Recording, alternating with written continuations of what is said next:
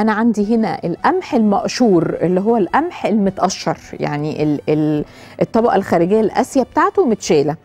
آه، ده بيتباع يعني عند العلافين والعطارين وال supermarkets وكل حاجة. بنجيبه بنغسله كويس. آه، طبعا لو محتاج تنقية بنقيه بس يعني لو إحنا عدينا المرحلة دي يبقى هيتغسل كويس قوي. هيتنقع لمدة 12 ساعة هنفضي ميته وبعدين هنسلقه.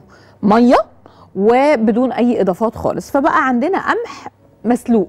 تمام كده؟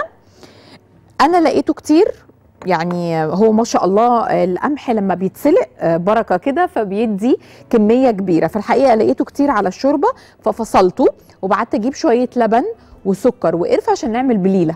هجيب هنا لبانة.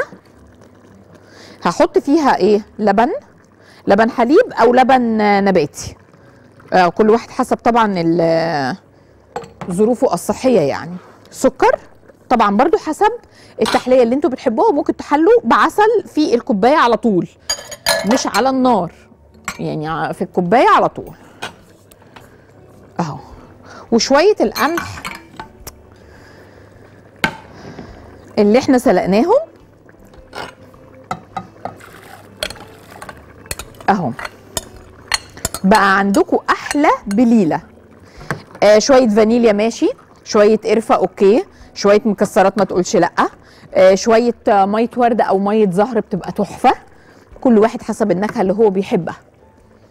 أنا لقيت عندي متفايض شوية فخلاص واقفة بوقفه وعمايل بعمايل يلا إيه بتبقى لطيفة جدا جدا في الشتاء وجبة لطيفة جدا للعشاء أو الفطار آه بالذات كمان للولاد وخلاص أهو.